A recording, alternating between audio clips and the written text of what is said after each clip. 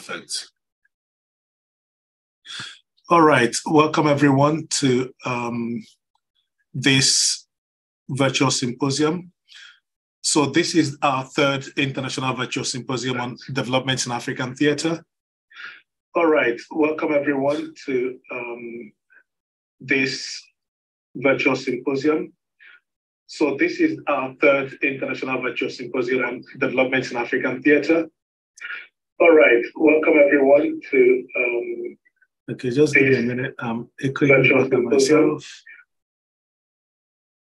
Okay, is, that, is the echo gone? It's gone, but you know, it's already a, a message of polyvocality. So amazing. We started well. We started really well. amazing. Thank you. All right.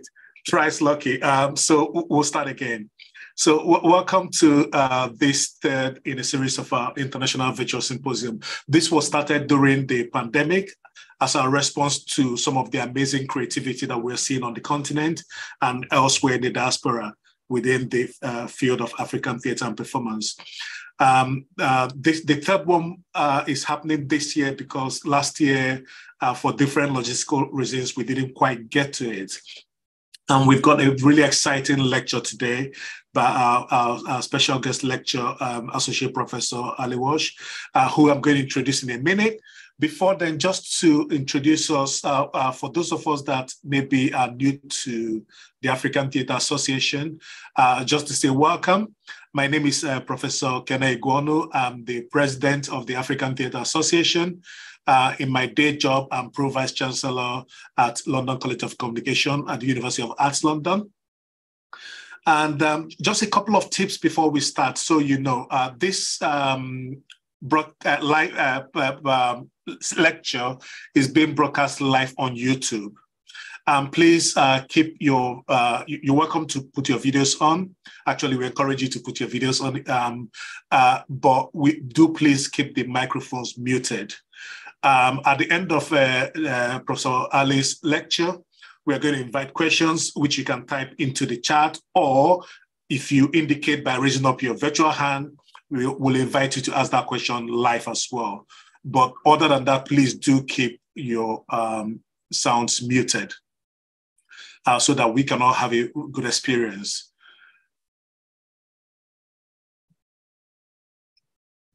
All right. Um, what else? Um, try to uh, minimize this, uh, distractions wherever you, you, you're, you're joining us from so that you can also enjoy the lecture. Um, for, for those of you that know Ali, you know that you're in for a great lecture today. Um, for those of you that don't know, uh, uh you, you, you indeed have an amazing one today.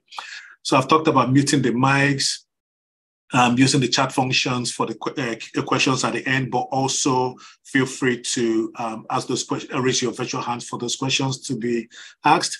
So what is it about, what is African Theatre Association, or uh, as we say, AFTA? Um, AFTA is an international membership association. Um, the organization, uh, uh the AFTA as an organization started in 2006 and the founding president is in the person of uh, Professor Osita Okagbue uh, of Goldsmith University London. It had its first uh, symposium. So it was launched by, with a symposium on Africa on women in African theatre and performance, and that was in 2006 at Goldsmith. Um, following that symposium in 2006, it had its first annual conference in 2007. At the same time, it also launched its uh, uh, uh flagship uh, journal, peer-reviewed journal, the African Performance Review, in the same year, 2007. Uh, APR, as we say, as we call it, the African Performance Review, is a peer-reviewed journal of the association. It's published twice yearly. It is dedicated to publishing, disseminating, and encouraging high-quality research and information on African theatre and performance, both in the continent Africa, but also anywhere in the diaspora that African theatre and performance or culture is found. Um, like I said, it was launched in 2007 with an inaugural issue um, titled Women in African Theatre and Performance. So ju- just to kind of give you a little bit about what the association is about, um, the mission of African Theatre Association is to help define and shape African theaters, theater scholarship and pedagogy uh, by liberating it from a bondage to non-African discursive framework. And this, of course, this, these are debates about the framework for analyzing uh, uh, and critiquing African theater has been ongoing. And what African Theatre Association tries to do is to really lead that debate. And we have been doing that since 2006, like I said. Um, AFTA um, facilitates um, the exploration and communication of African theatre and performance traditions, processes, and practices through its conferences and other events, as well as our publications.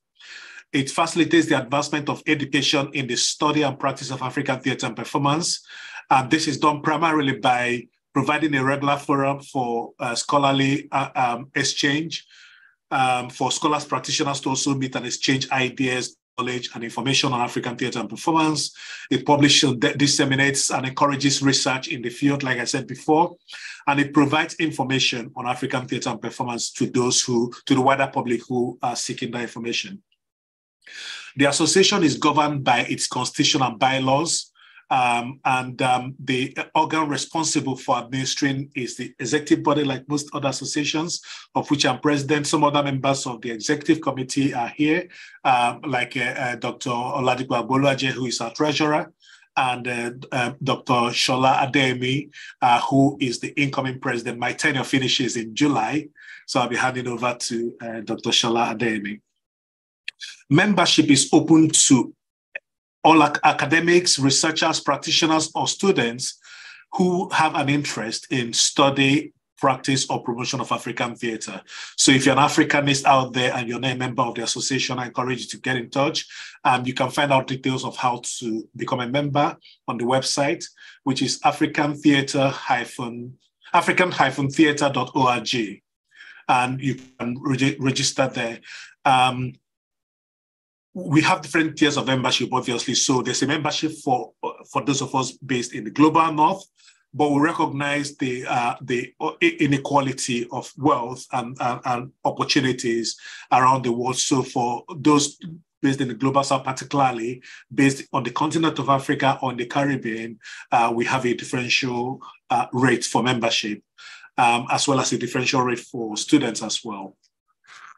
Okay, so th- those are the things I wanted to say about the association. There's a lot more that can be said, but I think it's uh, uh, I think that's enough for now. Um, the, I'm going to introduce our speaker uh, for today, and then I'm going to hand over to her.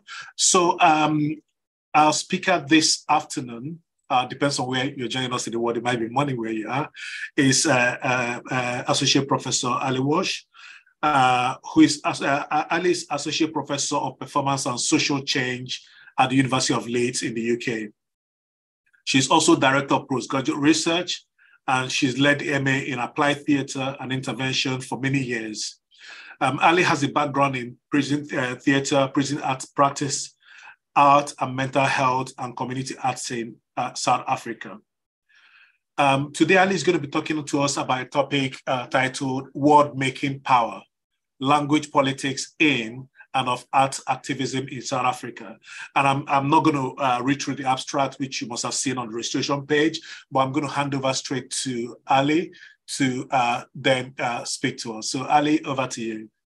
Thank you so much, Kene, and colleagues that are joining from near and far. Um, I, am going to start with a couple of words um, to express my gratitude for the invitation, um, noting, of course, that this is Africa Day, so it's a great honor to be with you this afternoon or uh, whatever time it is for you. Um, thank you very much to Kene and to AFTA for hosting. Um, afterwards, I'm very keen to take your questions or reflections um, into consideration. Um, it's also a great honor for me to present this work, uh, but I'd also like to reflect that it draws on collaborative work from the last three years with colleagues and young people. So I'll be citing them throughout. Um, it's not only my work, um, and I think it's important to bring their voices into the room. I'm also not going to be reading a script today, so I'm going to hold myself to time. Um, so we also have a chance uh, to talk at the end. Um, and afterwards, um, please, if I forget, remind me. I will share some um, several links so colleagues can access Uh, Ali, um, we lost your connection at the point where you were talking about um, uh, colleagues who are joining us from different places. Okay, great. So um, I will uh, just wanted to add that um, this is collaborative work um, that I'm presenting on today, and um, I will therefore be citing the, the young people and colleagues that I have been working with for the past couple of years. Um, and also that um, I'm going to be sharing some links afterwards. So if you want to access um, the films, toolkits, or resources that I talk about, um, they're all online open access and you can take a look at them afterwards. So I shall start sharing. And I believe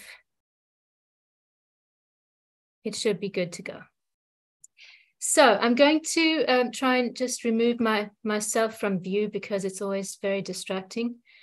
Um, and um, just begin uh, by uh, reiterating that the talk today is going to be focusing on a question of world making and power, looking at the example of um, arts education, arts activism in South Africa, um, and thinking through language politics.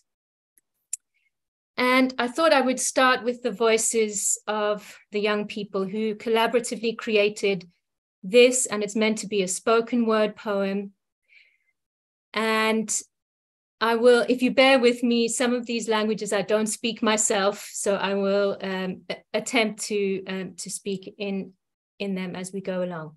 We who speak Afrikaans, we who use art to express ourselves, we who are stripped from our mother tongue, Tina Seteta Ulwimi Lomhlaba, we who are a Mengelmoes, we who are silenced by fear, we who think, speak, we who speak think on our feet, Dinofara Nemutauro Wedu, Tina Abukuluma Nkulu, Moyakwa Zulu Singamazulu, we who speak the language of our ancestor, we who speak the language of peasants, we who speak the language of our masters, we who speak the language we want, ons taal van die onderdrukkers praat, we who never have enough words, we who speak the language of Shaka, we who speak the language of the used.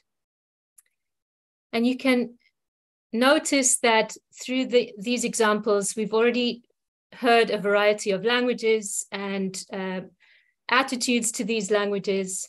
Um, and you can see some of, in some of these images the group of young people that we worked with throughout.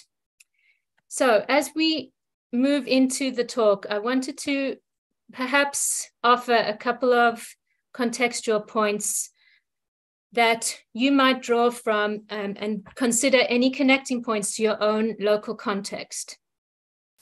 Um, and as you may know, South Africa has 11 official languages. In this project, we were focusing on race and space, and in particular, the ways that young people made sense of and experience how racialization conflates with and comes into contact with spatial politics. And where I'm talking later on a little bit more about language policies, this is obviously in the realm of official languages, but also in terms of the medium of instruction. And by that, I mean the language or languages that people are educated in for basic and, and further education.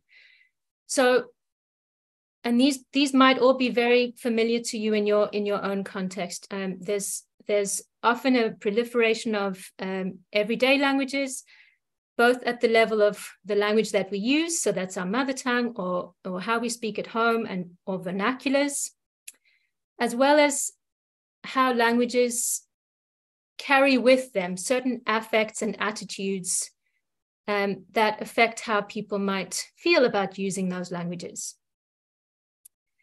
Uh, as you'll see later on with some of the examples, language also contains within it and, and how we use language contains within it this idea of tensions and borders, including who belongs and who doesn't belong. And so in the example that, or, or several examples that I'll be talking through, I'm going to be considering collaborative arts processes as a place to explore these contested issues across difference. And I thought it might be of interest, especially in the locus of African contexts, rather than necessarily diasporic communities. Um, and holding also with, within um, one's mind the, the need to consider the imperial and colonial harms that are always with, with us in the context of Africa, and in particular in South Africa, apartheid harms that, that prevail as well.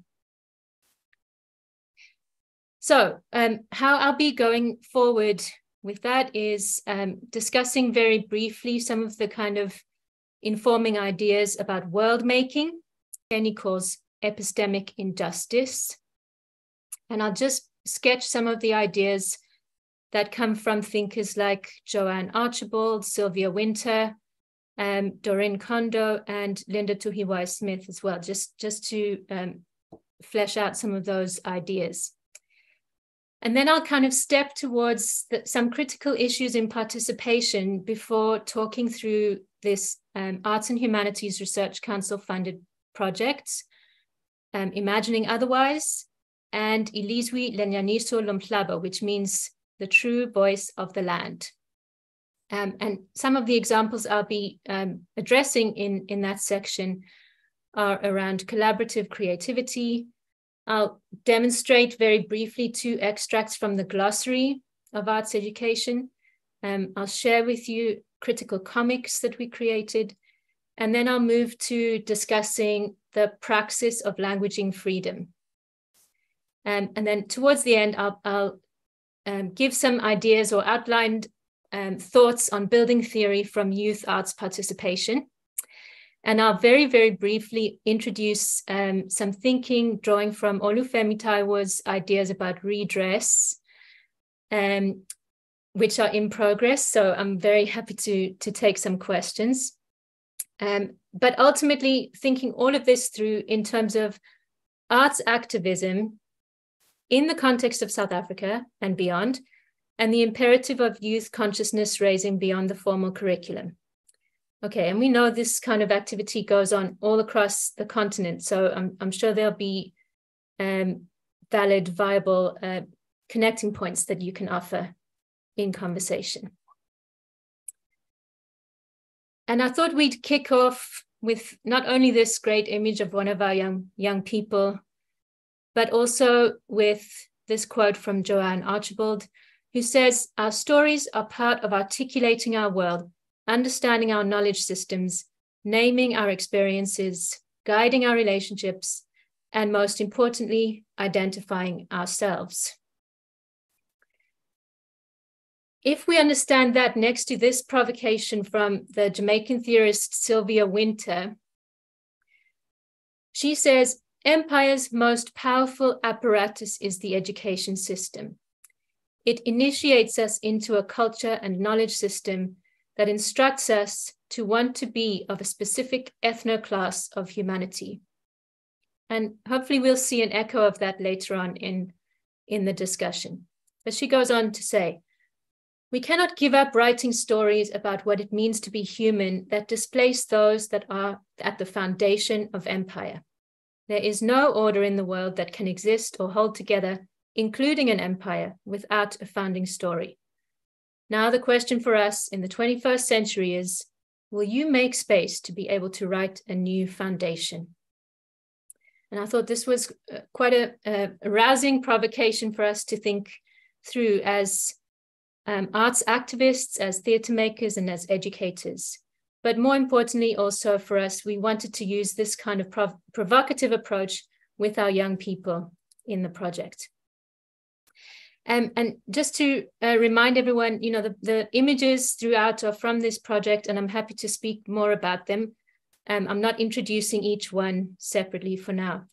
Um, but just another uh, few words from Sylvia Wynter, who's talking about the coloniality of being, power, truth, freedom, that relies on the sense that one cannot unsettle the coloniality of power without a redescription of the human outside the terms of our present descriptive statement of the human. And in that sense, it's we were we were encouraged to think about really giving the young people new ways of understanding themselves so that they weren't consistently having to describe themselves in oppressive languages and in deficit terms, because that's very often a kind of knowledge base that sees certain racialized young people as deficit and as considering themselves in relation to a kind of more powerful presumed other. So um, I'm going to just touch here on, on um, Dorinne Kondo's world making. Now, she's um, an Asian American writing in the in the North American context, but I thought it was it was helpful to to draw on how she understands this question of the importance and significance of theatre and performance as a place in which to to make worlds by, as she says, linking power, labor, and then she in, includes gendered, racialized, classed subjectivities in historically and culturally specific settings. And she, in, in this really interesting book, she, she asks us to take account of everyday creativity and artistic production as modes of creation or world making. So, in that sense, there's an emphasis on making and process there's an emphasis on collaborative work and collective work, which we don't always find valorized in, in the global north, for example. Um, she also analyzes and explores how race and racialization um, come through embodied meaning making through performance. Um, obviously, in, in the US context, it's, it's got a different inflection as well.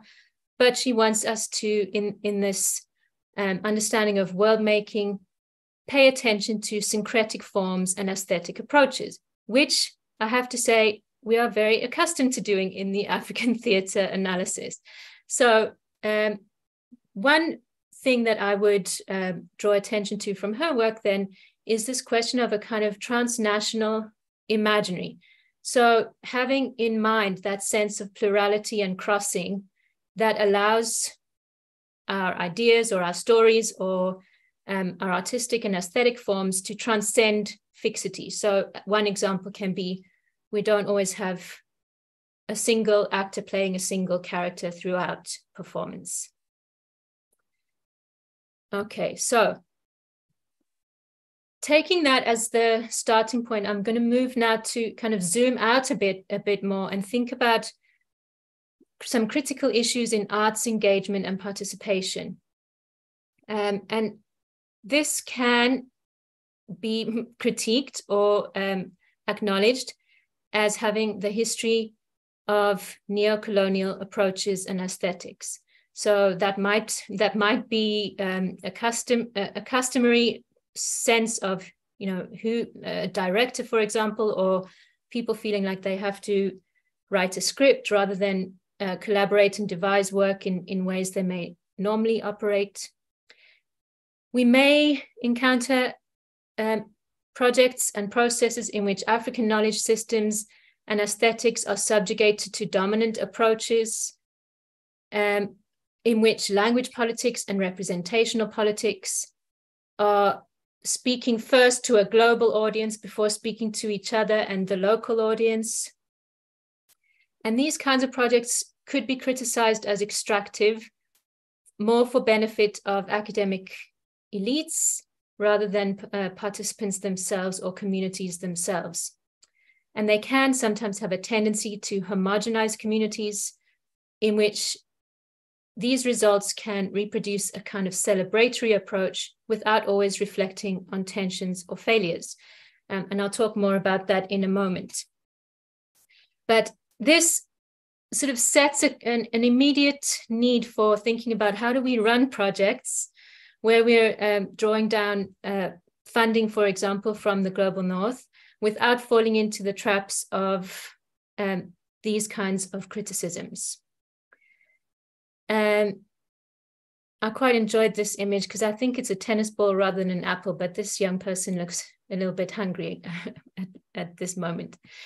Um, so, so just to connect that um, set of critiques to um, this ladder of participation that colleagues may be very familiar with from Sherry Arnstein, who was talking about from an organizational studies perspective or a development studies perspective, the different levels of participation uh, that are both authentic or not so authentic. And she and you can see there she's got a, a starting from the sense of not really participating all the way up to citizen control and citizen power. Um, and I've just translated that in particular into the into the arts. Um, and in the top in the top blue one there, you could see I've I've suggested that for appearances, that could be you know uh, I'm going to ask this group to to take part in a patronizing or hierarchical way that could be more like diversity box ticking or window dressing.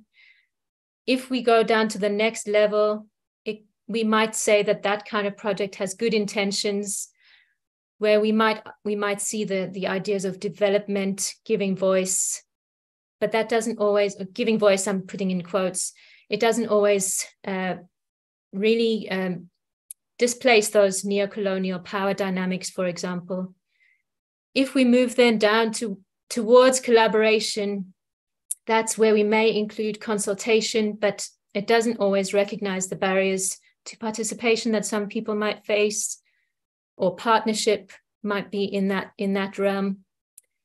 And then um, at the at this other level, this kind of golden level, we've got co-performative witnessing, which is a term from Dwight Conquergood. And that's, and that's where um, it links up with the Arnstein idea of power sharing, in which the participants may affect decision making or um, think about deep collaboration.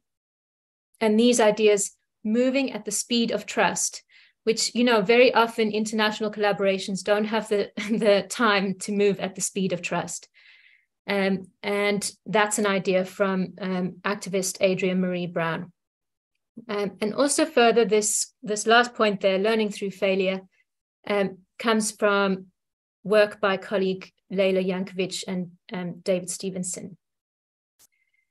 So onto the specific project. And those were all kind of um, ideas for us to take forward as we look into the, the examples so um, feel free to ask questions about those as well as we go into the last part.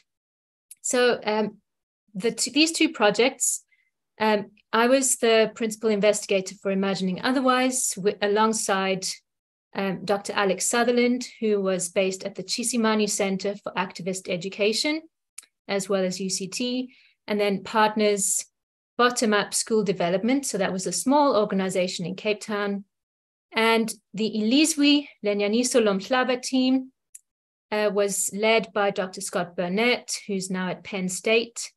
Um, and of course, the participants um, who you'll see later on. So the young people in Cape Town, Imagining Otherwise group, and the Graaff-Reinet group from the Eastern Cape were Ilizwi. And in these images, uh, the, the young people are mixed. So you could see sometimes the the urban youth um, and sometimes the groups mixed together. And in the in the particular project that I'm kind of emphasizing today, but I have to speak about the others to, to get to that one, was this question of drawing together those two groups of young people. They had each separately completed um, intensive work through arts education. Um, and we wanted to bring them together because as we as we went, went through those projects, we realized that there was this question of the language politics that was remaining in both of those projects. And then we decided to bring the, the rural youth together with the urban youth to see what might they do together um, that would help us understand a little bit more about self-representation, language and culture, especially in relation to peripheralized youth. So these young folk uh, from Graaff-Reinet, which is um, in the Karoo in the Eastern Cape in South Africa, called themselves Ilizwi Lenyaniso Lomhlaba, the true voice of the land. Uh, we were working with uh, the Support Center for Land Change, and the young people received training in filmmaking. They created over 40 films, um, and uh, subsequently, we've had around four articles specifically about land and land politics, um, including a kind of spatialized and racialized understanding of land. Um, in this project, we wanted to really challenge them to make a more politicized film, specifically about youth understanding of voice and participation in civil society. Um, and afterwards, when I share the documentary, you'll you'll be able to take a look. Um, and in contrast, we had um, this other group from Cape Town, Imagining Otherwise, which were uh, a core group of around 25 young people from the Cape Flats and beyond. Um, initially, we thought it was going to be a fairly um, homogenous group, but it was very interestingly um, much more diverse than we had anticipated. So we had Afrikaans speakers and other languages. There was racial and ethnic diversity. And the main element of this was a collaboration with Tshisimani Center for Activist Education and Bottom Up, as I mentioned.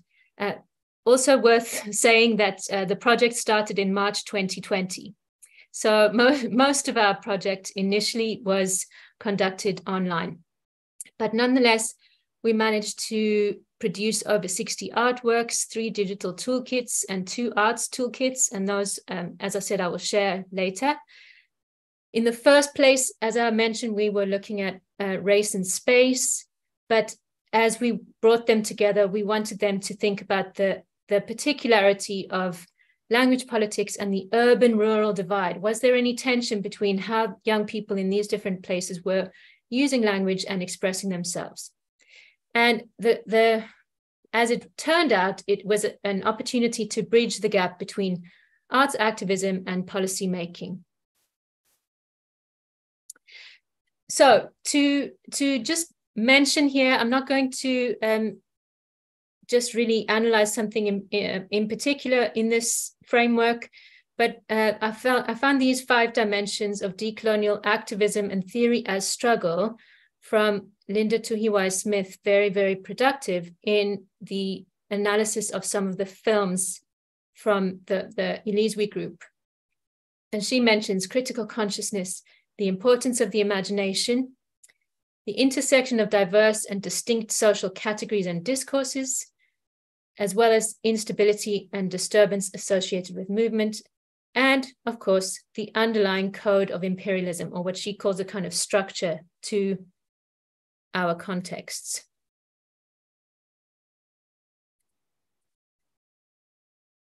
And I'm not going to um, ask you to look at the whole entry here, but uh, just wanted to provide an example of the glossary of arts education practice. This um, extract is about WhatsApp. Um, and as, as, I mentioned, the whole project took place online.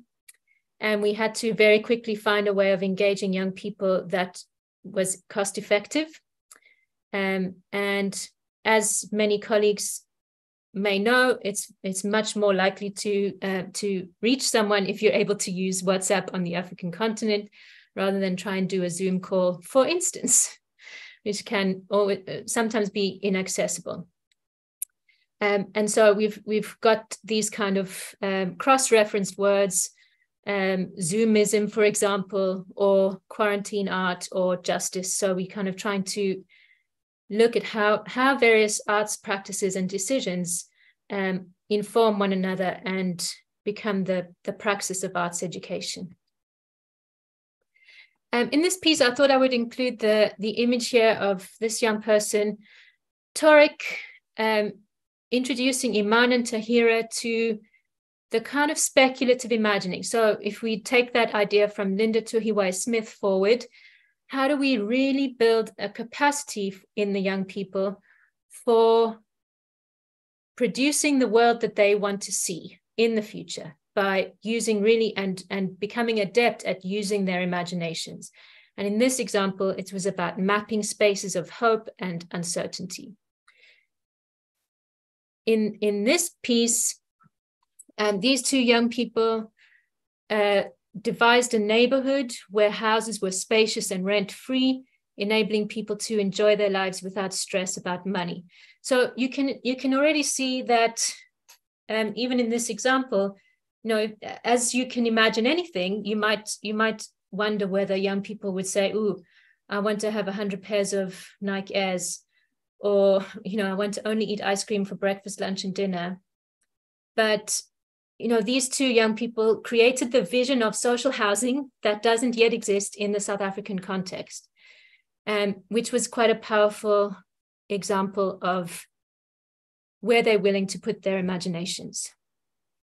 Um, and I'm also referencing this because it's all kind of cross art form um, and collaborating with, with colleagues with um, different kinds of experience. Um, so here, Tahira and Iman created a space that had different dimensions. So you could see some of the labels there. We've got an art shop, a surf shop. So they wanted they wanted youth to be able to access leisure and pleasure in their lives, but also the library as a space for learning. Um, and in this dimension, they they uh, imagined, you know, what if you could walk around a corner and it was suddenly safe, or you could go to some other suburb and you didn't have to feel worried about the rule of gangs. Um, and in the distance in this picture, you can see a, a dragon there, and and in this kind of speculative imagining, there was a kind of safety dragon or a security dragon that could help keep young people safe. And I, I just wanted to shout out the collaborators we worked with as our co-producers, the wonderful Zodwa Nyoni, who um, is based in the UK but from Zimbabwe, and then um, colleagues from Low Def Film Factory um, and Seth Deacon from, from Fine Arts. And they kind of really took hold of those online workshops um, over the first year, encouraging people to keep taking part. And we also had um, youth arts leaders that we were training along the way. So Maggie Fernando did a project management role, um, as well as really holding a lot of the facilitation in her hands. And then um, UCT grads, um, Tandi Lembacha and Kondiswa James, um, both excellent arts workers themselves and cultural activists. And in this one, I, I was wanting just to share a kind of second tier of engagement with a with a different group of young people who were who were very accustomed to performing, and in this case, we're making a a scene about um, a mugging. We at, at towards the end of the project also uh, managed to get some additional training in oral histories, and that comes into play in the next part of the power of word. So um, this is just a flag for the toolkit uh, in which colleagues can see the workshops, the um, support for facilitation, and how we used WhatsApp in, um, in the processes. And I'm kind of flicking through some of the images in the digital arts toolkits now that the young people put together. Uh, collaging some of their their own homemade videos, films, video art, um, but also uh, with with sequences that you can see where they're talking about how to make powerful activist films or films that move towards social change. So learning about things like framing, how you do that on a mobile phone, and how you can really address questions that are politically and socially urgent. Here's Edina. And once again, these uh, links will be available afterwards. So these are on YouTube and available. And I thought I would mention, you know, in this sequence, uh, you could see Peace Peacemore standing here, um, who speaks out about the importance of telling stories from below. And he uses a kind of collage effect, a bit of speculative fiction and um, some spoken word or rap uh, to speak back to the kind of level of invisibilizing that our politicians keep uh, leveraging on, on us. And to me, all of this sets up the need for plurality. So, how the, the art forms that embrace plurality set us up towards world making. And here Amkpa says that a cultural construct enabling people and communities to define themselves as subjects of politically fluid societies is not only a necessity, but also an urgent political strategy for developing agency in a heterogeneous continent such as Africa. Here, the, the red thread that you can see here was a, was a kind of research mapping tool that we were using to um, ensure that the young people were were also not just producing and producing artworks, but uh, also beginning to find themes and understand how there might be connecting points between their experiences, stories, and observations. Um, these things they shared in um, a youth symposium that was attended, um, as you can see, by some teachers on the right there. And I, I thought I would just flick through some of the project outcomes before going specifically on to speak about the power of word. Um, many of these things came out of this initial piece on youth voice and power by myself and Dr. Burnett. I've mentioned the toolkits and the comics you'll see. Um, I'm working on something about future redress and reparative futures.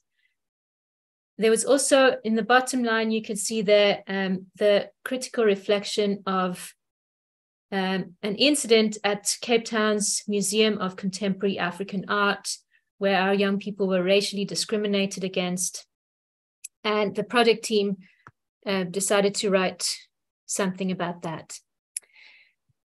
Um, and of course, there were there were plenty of live events and, and performances and panel discussions as well. Um, and and so I'm going to launch from the um, the comics themselves into what we then looked at in in Power of Word. And this comic from Andre Trantral and the collaborator um, Ashley Visagie is around the myth of meritocracy. So the, the school teacher, Mr. Edwards, is trying to get his young people from an underserved school uh, to participate in debate. Um, and when they notice the different kinds of privilege that this very rich and elite school has on the other side of town, they start they start to make some sense of how meritocracy structures society. A second story that we have is on disposable youth, and these were all kinds of ideas and reflections that the young people gave to us. Um, so the so the comic itself is a is a dialogic kind of output, as well as being quite quite fun to read. So we also had the young people um, join us in workshops as to what they could take from it. And so, bringing those groups together, we wanted to ask them these kinds of questions. Again, kind of visioning of futures that do not have language discrimination, what the role is of institutions, for instance, schools, universities, dictionaries, and how might we imagine a different future or a better environment? What might young people themselves also need to do?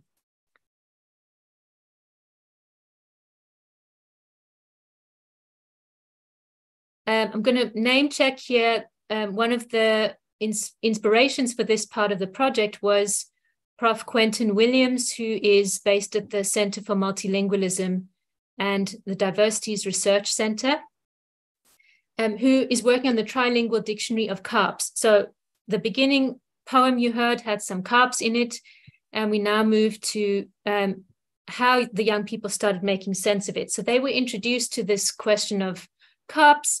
And here a young person says, the language I speak is seen as kham, or it's symbolic of a lower class. when I'm in certain spaces such as Cavendish Square or V&A waterfront, and I express myself phonetically, people's expressions immediately change as if I'm a crook or as if I don't belong. The language I speak excludes me at times from this, this space because of feeling unwelcome and the inexplicable need to work up the courage to confront it.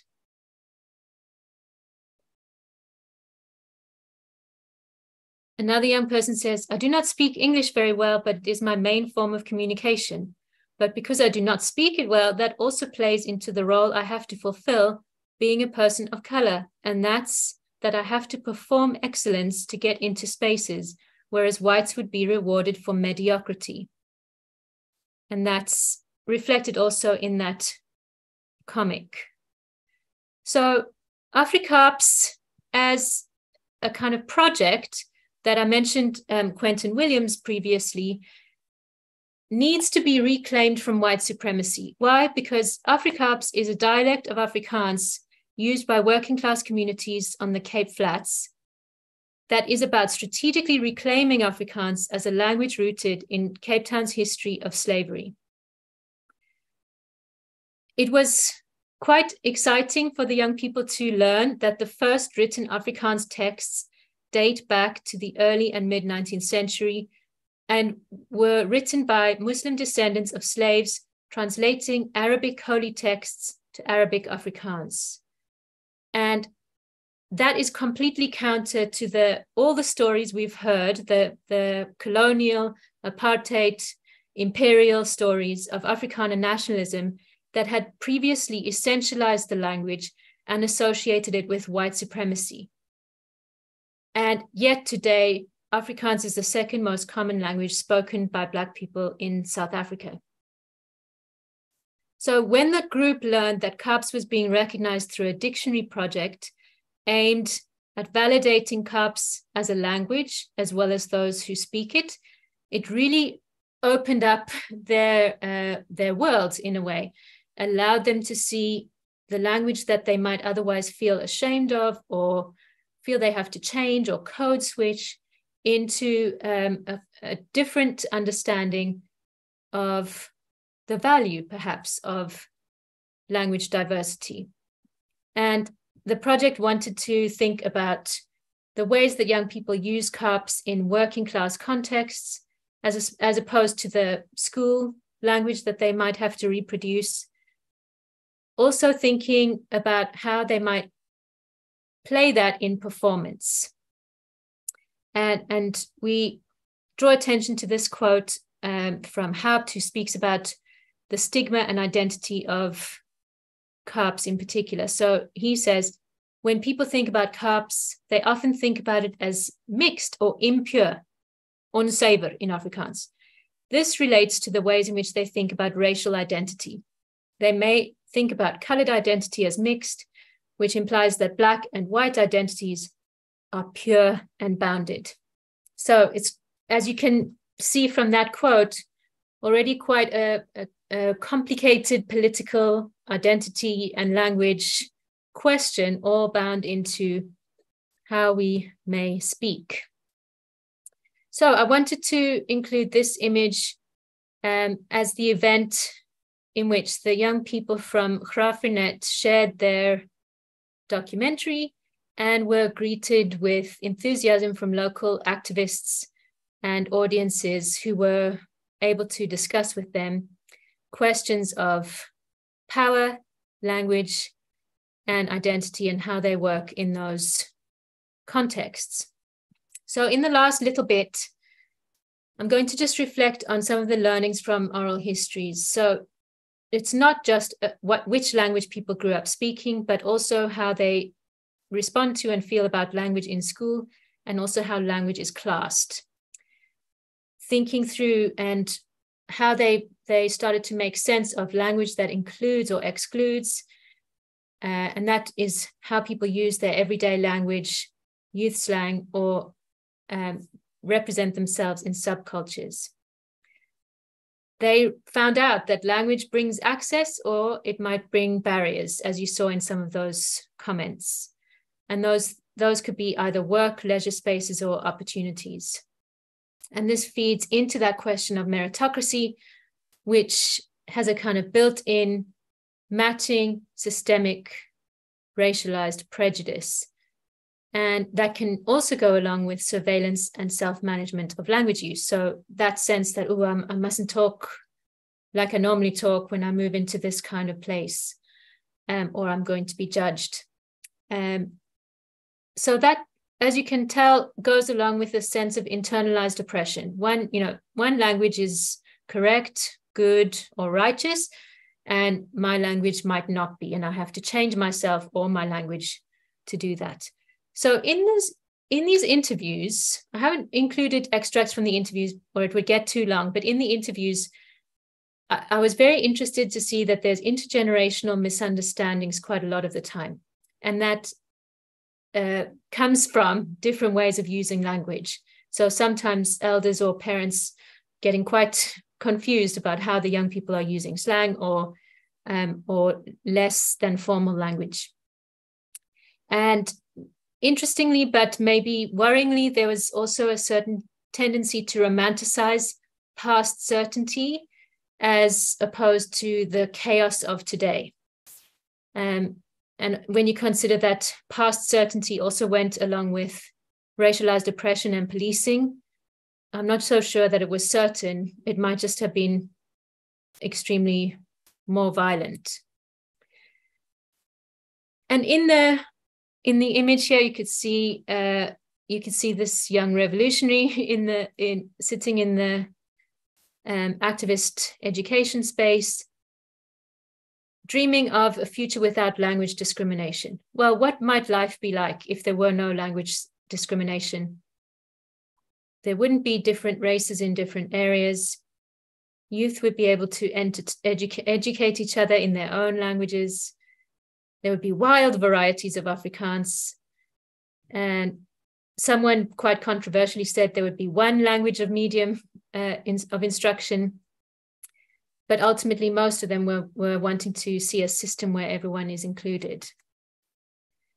And so thinking then about the um, how arts interventions build theory from youth participation includes a necessity to consider the positionality of researchers as well as everyone else. There must be critical engagement with group formation, and that's across all kinds of difference what is specific that is afforded by the arts based outcomes and how they might have helped to engage in the complexities uh, the importance of the and the predominance of the of the youth role in meaning making so not only as the producers of the materials but as the co-researchers for example so um, we decided to train youth in research skills like oral histories and how that helps to generate young people's insights into cultural and social meanings. So, what happens then when young people tell their own stories or are involved in stewarding others' stories? To me, this is the, the question of world building. Now, I'm going to hint here towards the themes um, towards redress, but I might skip over the table. Um, the, the question there is, you know, how how do we not only um, valorize and um, lift up the the excellent quality artworks that they make, but to consider how they act in the world. How do they produce a different world that we might want to see in the future? So we we might use this idea of redress. When when I say here artworks are within precarious context, that's just the the everyday lived reality of poor and working class young people whose perceptions of the future are very much curtailed by the current circumstances. So we need to be able to link the question of power and the value, values and impacts of participation to these wider social change endeavors. And that is because we, we can't just recognize and repeat past injustice, but we must move from hegemony, so the way things are, or that this is the way it is, to the question, what is to be done?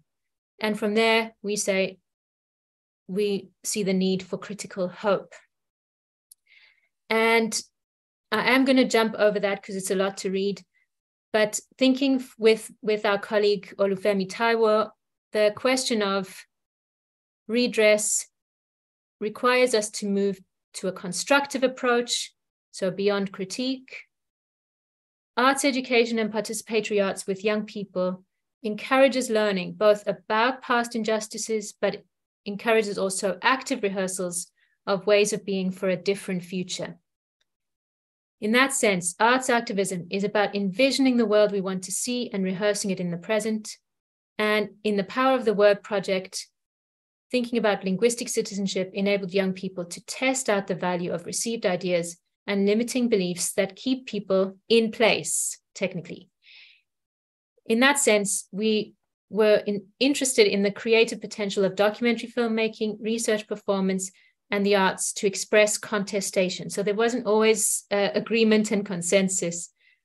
But in that sense, the research must address both outcomes as well as methodologies, not, uh, not only focusing on, um, let's say, discourse analysis itself. Um, I, you can see I'm interested in valuing the research that the youth do themselves.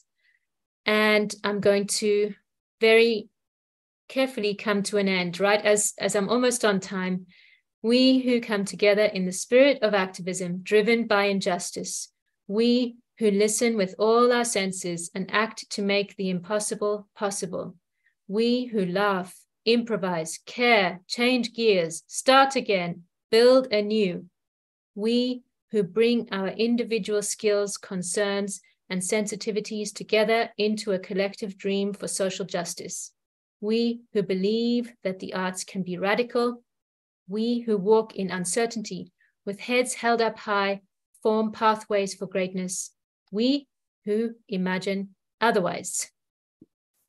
And I shall pause there, very, very happy to take questions, comments, or uh, further clarifications. Thank you very much.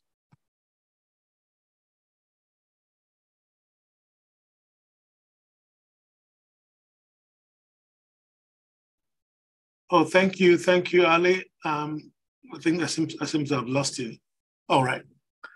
Thank you so much, Ali. Um, that, that was uh, fantastic. Um, re really excited by some of the ideas that you uh, presented here. We're going to open up to questions, colleagues. Uh, like I said, do please put your questions in the comment section, or if you want you can raise your digital hand and, um, and we'll come to you.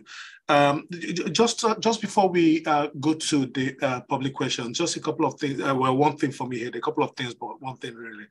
Um, you talked about um, how the young people build capacity, so the, how the project built capacity in young people to produce the kind of uh, future they want to see. And I like the example you gave about um, uh, the young people that produce the vision of social housing, but they want to see even though not existing yet. Um, is there what happens, um, especially because these young people are not just creating art for the sake of it, they are creating something they want to see.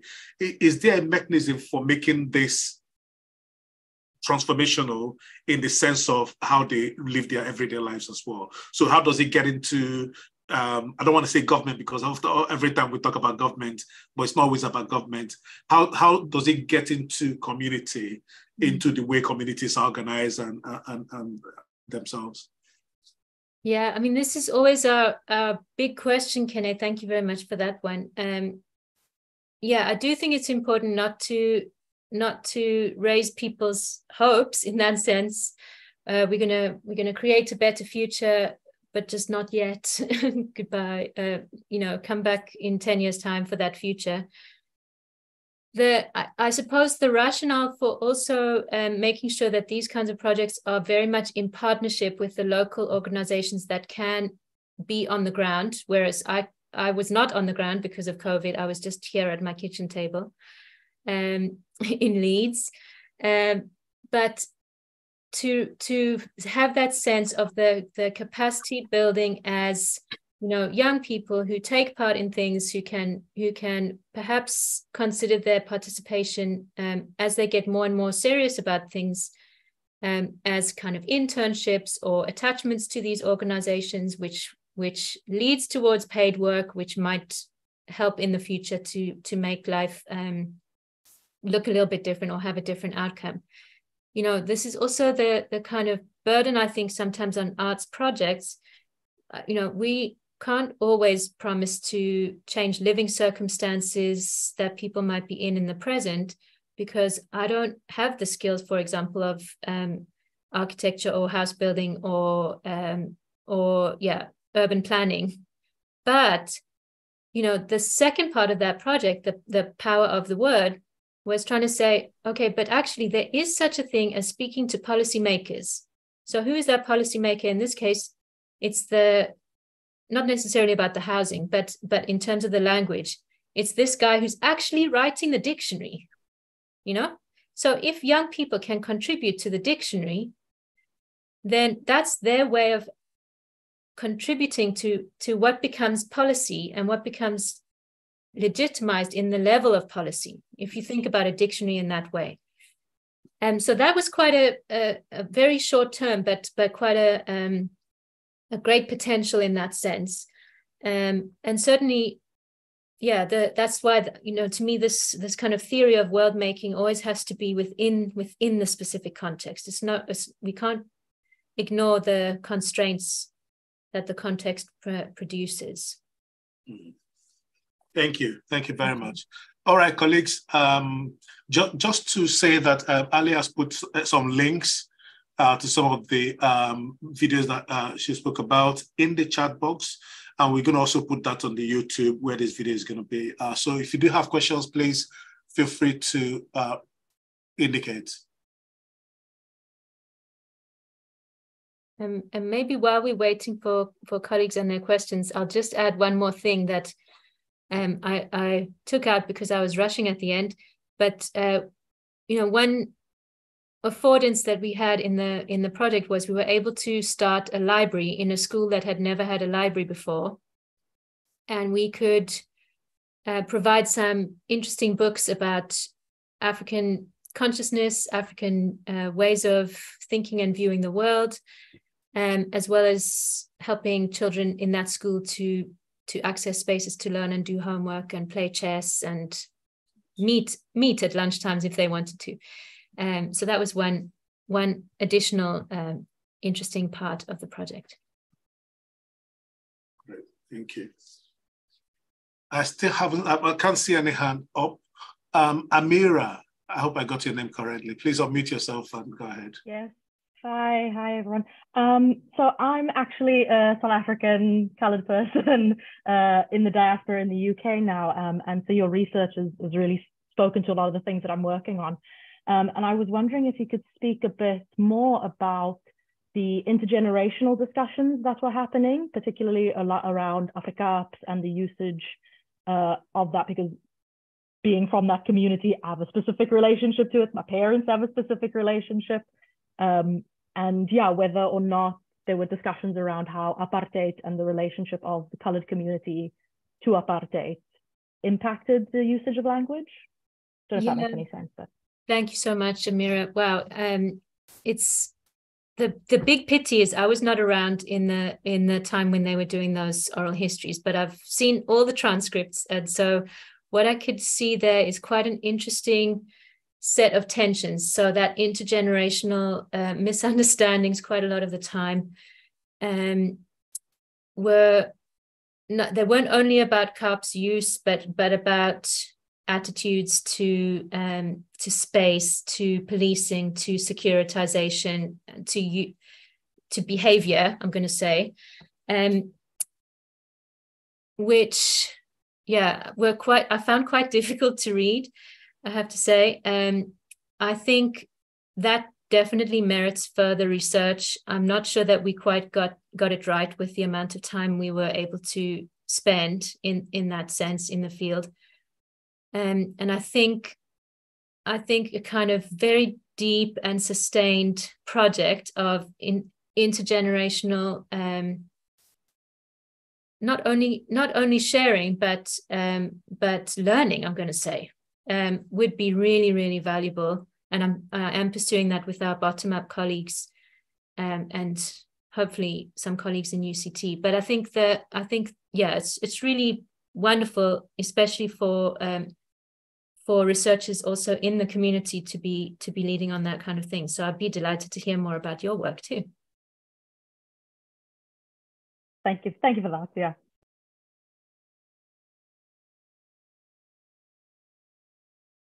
Oh, Kene, you just muted, but I think you were asking any more questions. Any more questions? Yeah, you read you read my lips, right?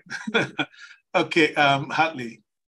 Thank you. Thanks, Ali, uh, for the talk today. I'm curious to know, um, you know, you have you outlined some of the the big takeaways. Was there anything unexpected uh, that the youth shared that you didn't necessarily um, hypothesize or predict? Anything unexpected that came up from their conversations in the project?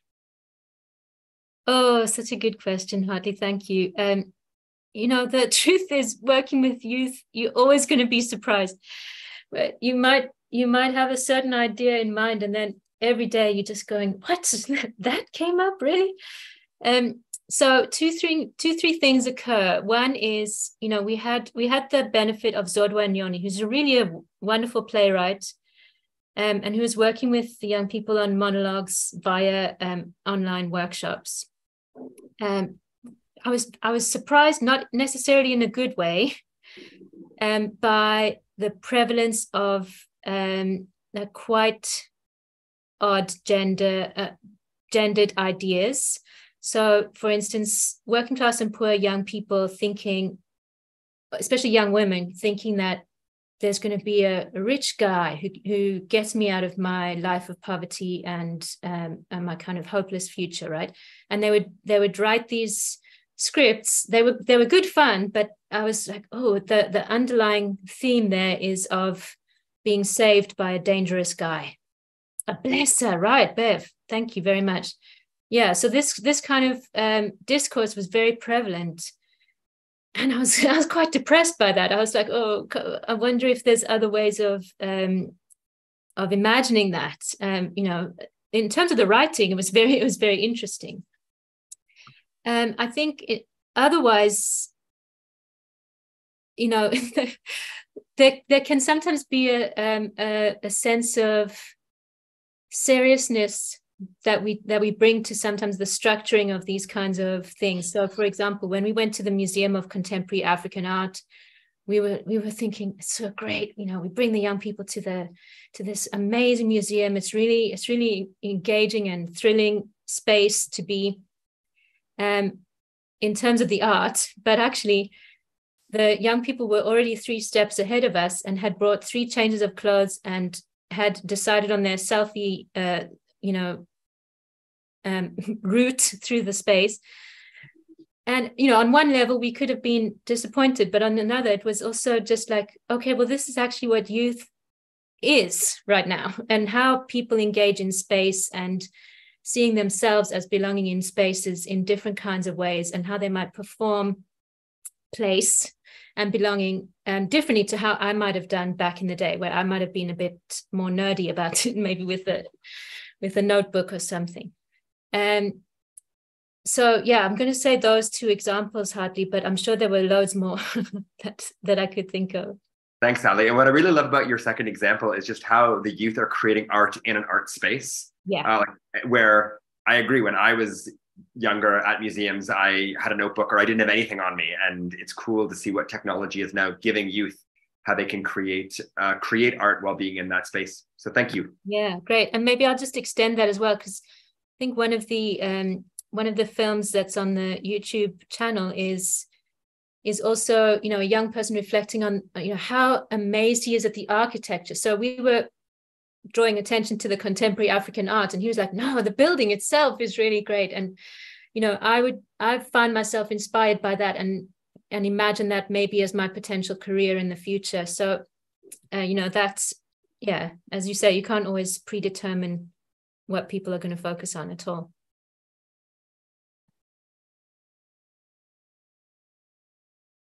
All right, thank you. Uh, we could take a couple more questions. We've got we still got a few minutes to go. Uh, Matthew, please unmute and speak. Um, thank you, uh. Um, I'm I'm Ali's colleague, so I feel like I'm hogging this space a little bit. Um, uh, Ali, I, yeah, uh, loved the presentation um, and amazing work, which I'm sure we'll get to talk about more um, in the staff room at work at some point. Um, I just wanted to ask um, a lot of the kind of discourse coming from the young people directly, social justice, certainly politics around race. Certainly, you know, maybe I'm reading this wrong, but are kind of left wing progressive ideas in that way. I, I just wanted to ask more of a question out of curiosity, really, whether the young people ever positioned themselves in that way as maybe left wing socialists, or was it just the rhetoric of social justice without ideologically knowing where they position themselves? I just thought that was really interesting. Hmm. Um, gosh, I, I'd be keen to um, to hear other colleagues also reflect on that. Maybe Amira has has notions as well. Um, but I think uh, in in general about young people um, mm. at the moment, because I haven't lived in in the South African context for a good number of years now. But you know, my impression is that there's not there's not necessarily so much self conscious um, attachment to labels like socialist or left wing um, necessarily so much as there is a kind of general affiliation to certain party politics, uh, just because of how um, how yeah historically that's operated across across the country. But that's not unproblematic given that the state is in a complete disarray and all the opposition parties are also in a complete disarray. Um, I think quite surprisingly to me, the, the partner organizations themselves were fairly left wing radical organizations. And so that most probably changed who we got access to in the first mm. place and the kinds of rhetoric and discourse that they were already accustomed to hearing about. So, in, in a very recent example, one of those young people you saw in the picture, Tahira, has done the, she's been a library intern in the library that we started. And she is more and more and more using very much self-consciously radical left-wing language. Um, you know, the one of those comments about um, you know, white people not having to uh to try as hard for sure. And the kind of question of meritocracy, she's she's very much um, using the the model of um, critical pedagogy that she's been steeped in in relationship mm. to the the project but before the project and after the project that organization bottom up. So they do really fantastic work. Um, but i would say it's fairly explicitly uh, left wing. So yeah. yeah. Thanks. Lovely. thanks, thanks Ali. thank you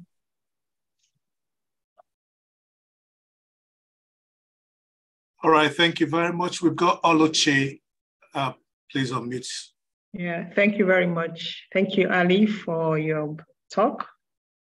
Thank I must you. say it was very enriching for me. Uh, just mine is not a question actually, but just to kind of make a comment that I find um, and a, some kind of encouragement in what I see. Um, I think I see from the very first part of your presentation where you were talking about the languages. First of all, let me thank you for making me know that there's a language, so to speak, called Afrika Afrikaans. Yeah. Never heard of it. That's my first time of hearing it. So now, but apart from that, in that particular part of the presentation, I saw somewhere where it says, we who never have enough words, that even in the midst of all of these languages, in the midst of all the languages that you mentioned, still they don't have enough words. But then later on, another part of the presentation, it was said, will you make space to be able to write a new, I think foundation also, if I got it right.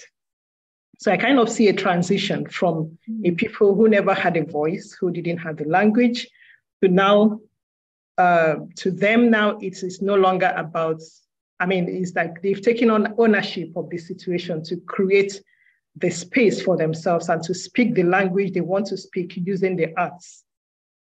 And I find that very, very, uh, uh, I mean, very interesting, very rewarding, I should say, for you who uh, went into the project. So, like I said, it's not a question, but just to make that observation that I kind of uh, identify with that and I, I like what I see. Thank you very much. Oh, thank you very much. It's wonderful to hear that. And yeah, I think a, a kind of we can never be too encouraged you know we need all the encouragement we can get at this moment. So so that's very nice to hear. Thank you. Thank you, uh, Lucy. Okay, we've got Bev. Please unmute and ask your question. Oh, Bev, one moment. You just muted. You need to unmute first. Unmute. Can you hear me now? Yes. Ah, okay, right. Um, it's really nice to hear about this um, Afrikaans and the COP kind of um, taal coming through, you know, and uh, I find it really interesting because I've been doing various projects all over, and uh, people kind of say to me, um, "Oh, you must have had a very hard time in apartheid South Africa." And I look at them and I say, "Hmm, yeah, maybe." And then I realize, of course, they think I'm coloured. So you know, that's the. It's like this whole perception of who and what and where you are within the world, and don't come and live in Germany because you know you're going to have a hard time, or the Netherlands, or whatever. And I just kind of look at them and I think, well, there you go. What I like very much as well, I mean, your pro- project is absolutely fantastic. And I've just been working on a project in Cape Town, working with the decriminalization of sex workers, also using theatre and arts, etc., etc. But I like the, the one that you said about speaking to the global audience rather than that local audience. I mean, that is so much what we're doing as academics, isn't it? It's like appealing to like what's out there instead of thinking about, you know, well, who we actually making our work for and who's the actual the audience for it. So I just wanted to know how you felt about about that particular aspect of, of, of everything, of that particular topic, you know. Yeah. Thank you so much, Bev. I'm I'm keen also to hear more about the the sex work project, but I'll I'll uh, I'll just let you know, I, am I'm, I'm not a sex worker. No, no. you, you're working with the sex work project, decriminalization. Yeah. Um, thank you. Um, I think the you know the the rationale in the first place for me taking on any funding from the UK state is to try and push it away from from the UK and um, help the help make sure that majority of the money or at least as much as possible can go to um, the global south partners. So that's the first challenge because obviously there's a bunch of hoops to jump through to make that happen but but really the impulse there was was to that sprung from the partners, especially um, Alex Sutherland, so at Tshisimani Center for Activist Education, who was going, you know, actually there's so many projects in different kinds of areas in Cape Town, but almost none in the in the um, Cape Flats specifically, and so that's why um, she was keen to to start that off. And the whole design of it was uh, at least the the intervention part was almost without any attention at all to the to the rest you know what was going to come later to the you know what what counts in terms of um, promotion and tenure or um, cv lines or anything like that. It was to enable that initial engagement with the young people and with the partner organizations to be authentic and meaningful and as hopefully not extractive as possible and yet, of course, and that's why I also included that little section on participation, because inevitably, if you're doing a short term project and you've got funding and you have to produce this, this, this, and this, and then produce a final report, or there's kind of reporting deadlines that are not within my gift to say, okay, we don't need to worry about that, for example. Um, there, there is an element of a kind of direction of um, of obligation, I'm going to say, on, on behalf of the, the organizations working in the global South context, um, which can be very challenging. So, uh, you know, I tried my best uh, to minimize the, uh, the struggle on their behalf, but I don't think I entirely um, ameliorated that, that problem. Um, and I don't know that it's possible to do that with the power the power operating as it does. So I think that you know, if I was going to give um, advice, if I was gifted that uh, that opportunity, I would I would encourage colleagues to to plan the the intervention part and the arts based practice as as far as possible to to meet the needs and um, and re- requirements of the local uh, participants and communities around them what's going to be meaningful for them rather than what's going to be meaningful for me. Because i can find meaning in almost all the elements of the project. And um, if I was left to my own devices, I could probably still write loads more about, about this project. Um, but you know, for instance, sometimes I see colleagues saying, "Oh, we should we should do um, a co-authored journal article with with young people," and that's a good idea, but it actually takes a whole lot of time and effort, and they don't necessarily care in the same way that we do. Mm-hmm. They might like to present something written, but does it have to be a journal article? Can it be a blog? Yeah. Can it be, you know, can it be a magazine article? Can it be something else? So it's the form that you choose then. That's like if if that can be authentic and grounded in the in the context, whatever that context is, then it's going to speak better to that to that audience. Because they can identify with it more like the comics and everything else yeah and making the videos sure. Yeah. Mm. well you know even the comics i would say um, i very much like them and they're they're potentially parts of the comics are a little bit difficult. So it depends on exactly the age range that we would want to reach with them. So they've now gone out to 3000 schools across um, the western cape but I'm not particularly sure that that they reach, let's say, 14 year olds necessarily. Yeah. So I think we, you know, we maybe missed a trick in terms of the level of language use, for example, or the the amount of information that we were trying to get in there. But it's uh, you know, only you only have such a short time, so it's difficult, isn't it? Yeah. Yeah. Yeah. yeah. Well, thank you very much. This was really interesting. Thank you. Thank you, Bev. Yeah. Pleasure. Thank you very much, everyone. And we've got a comment in the chat from uh, uh, Shola Demi, which says, thank you for this intervention, Elaine, um, for understanding the challenges um, you must have faced, more particularly from the authorities. I wish that similar projects that I was involved with in communities around PMB had achieved such success. Thank you. So on that note, I want to say a huge thank you to uh, Professor Ali Walsh, so uh, join me in saying thank you, Ali, for uh, the lecture. And also thank you um, to our audience. Thank you for uh, to every one of you for um, your patience uh, with the technical glitch at the beginning. And thanks for your uh, uh, participation as, as, well with the questions and the comments. Um, finally, before we go, um, I'm going to launch a very quick um, poll um, so it will appear on your screen any second from now. Uh, if you could just complete that for me, that would be great. I, I really appreciate that. Literally going to take 10 seconds to complete. Um, that's it. Thank you so much. And once you've completed that, I just want to say thank you again and do feel free to uh, log off and I'll be ending the call in a minute. And Ali, thank you so much for honoring our invitation and thanks for a wonderful lecture. Thank you for having me. Bye.